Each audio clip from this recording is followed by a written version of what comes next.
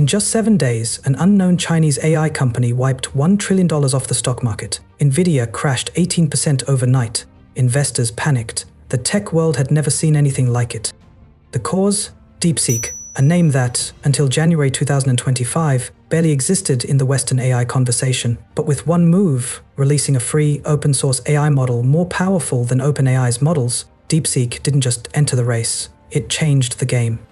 DeepSeek wasn't born in a Silicon Valley garage. It wasn't funded by Google, Microsoft, or Alibaba. Instead, its story began in an unexpected place a hedge fund.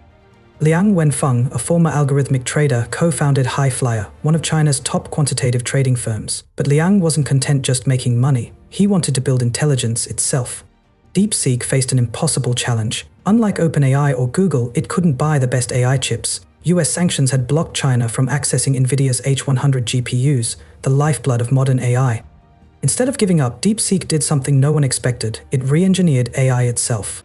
DeepSeek's engineers pioneered a revolutionary AI architecture using multi-head latent attention MLA and mixture of experts MOE to make its model 10 times more efficient than its rivals.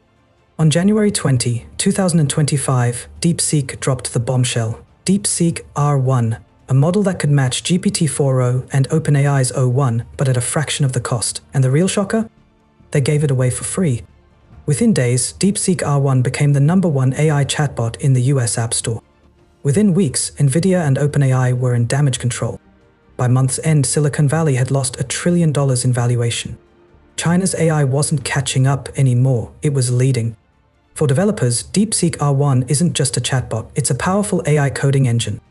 It ranks in the 96.3 percentile on Codeforces, solving complex programming problems at expert level. It understands and debugs code with near human intuition. It generates optimized, production ready code in multiple languages.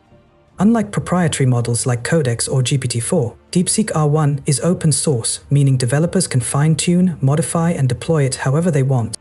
Some early testers claim DeepSeek outperforms GPT-4 in logic-heavy tasks like algorithm generation, code debugging and optimization, mathematical reasoning, for developers, DeepSeek isn't just another AI tool, it's a potential game changer in software engineering. DeepSeek has proven a new truth in AI. Brute force computing isn't the only path to victory. Smarter design beats raw power. But the bigger question remains. Will DeepSeek's open source approach make AI more accessible? Or has it just accelerated an unstoppable AI arms race? One thing is certain, AI will never be the same again.